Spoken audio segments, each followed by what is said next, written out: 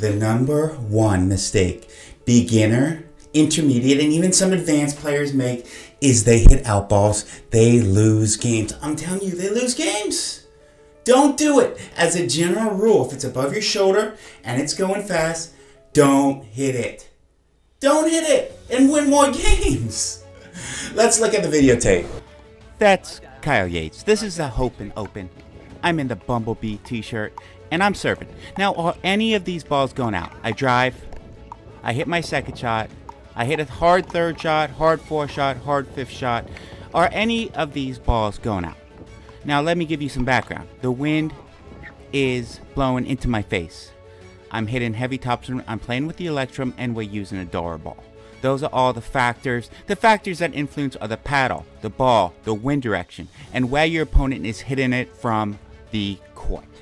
These are all factors you have to consider, and I know if you're a beginner, you're going to say, Joe, you know, that's a lot. None of these balls were going out. Now let's look at more of the videotape. Was this ball going out? Yes. Why was it going out? I pulled my paddle back and this was one tail. Number two, I'm hitting pretty flat, not a lot of topspin. I'm obviously trying to hit my opponent. Here is another point from the same match. So it's that. That Ankush forehand, in my opinion, that was going out. Look, he hit it below the net. The trajectory's going up. He hit it hard. Lack of topspin. And Herculio hits it almost above his shoulder. So that's going out. Let's take a look at another point. Was this forehand going out or in? This was going out. Why was it going out? He takes a big backswing. That's one tail. He not a lot of topspin. He's hitting from almost high to low and Herculio makes a great decision. Great decision. Good job, Herculio.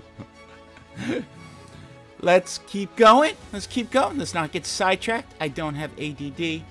Here's another point. Here's me again. I crush it at Kyle Yates. And look, Yates would not usually hit that. That was clearly going out. I bring my paddle back, big tail. I'm not really hitting from low to high. I'm just really slamming the ball right at his right shoulder. He hit it, but this was clearly going out. Yates does not usually hit balls like this. But I'll take the point.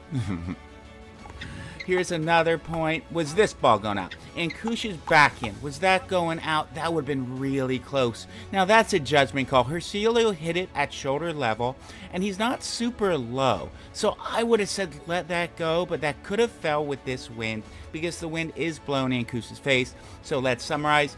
Factors that influence ball flight. The paddle, the ball, the wind direction, where your opponent is hitting it from. And I'm going to do a lot more of these segments. So this is so important from beginner to intermediate to advanced. We all hit out balls. I'm going to do more of these segments. Please comment, please subscribe. Have a good day.